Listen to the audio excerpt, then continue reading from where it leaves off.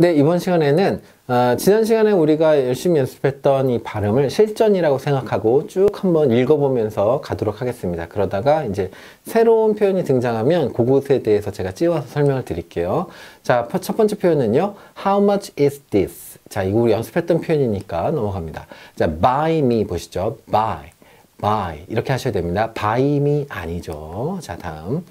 어, What are you looking for? 이거 자, 뭘 찾고 있어? 라는 표현인데요. What are you? 아니고요. Are you? 하셔야 됩니다. R sound 내셔야죠. 그 다음에 어, looking 아니죠. looking 아니고요.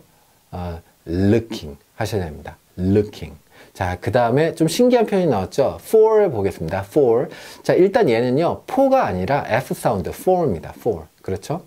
그런데 R도 겹쳐 있어. 그럼 어떻게 해? 어쩔 수 없이 FR을 같이 표현했는데요. 읽을 때 이렇게 읽습니다. for, for. 자, 만약에 F가 아니라 P였다 하면 pour, pour 했겠죠. 그런데 F니까 for, for 이렇게 하시면 되겠습니다. 자, 다음 표현은요. some fresh apples 이렇게 하고 있는데요. some 몇 개의 fresh 할 때요. 자, fresh는 fresh가 아니죠. 그래서 F 사운드, fresh 했고요. 그리고 나서 apples 할 때 보시죠. P 사운드가 있는데 apple 이렇게 안 하고 apple 이렇게 했습니다. 그렇죠? 애플 하면 소리가 너무 터지니까 apple 이렇게 했고요. 이게 P 사운드의 속성이다라고 설명드렸습니다. 그리고 apples 이렇게 했죠. apples는 아니죠.